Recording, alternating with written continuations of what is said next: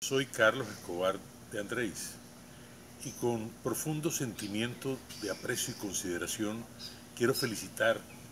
al diario El Informador de Santa Marta por sus 60 años ininterrumpidos de labor periodística desde su fundación el 7 de agosto de 1958. Felicito el esfuerzo por haberse conservado como la expresión más auténtica de la tradición samaria, por haber contribuido con el desarrollo del país, la región Caribe, el Magdalena y Santa Marta,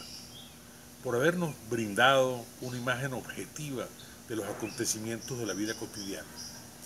por haber conservado bien en alto el, el, legado y principios éticos y morales de la persona que inspiró esta invaluable iniciativa, don José Benito Vives de Andrés, su creador y primer director. Felicito a su junta directiva, al equipo periodístico y a los editorialistas que ven en el informador el espacio propicio para expresarse con absoluta libertad.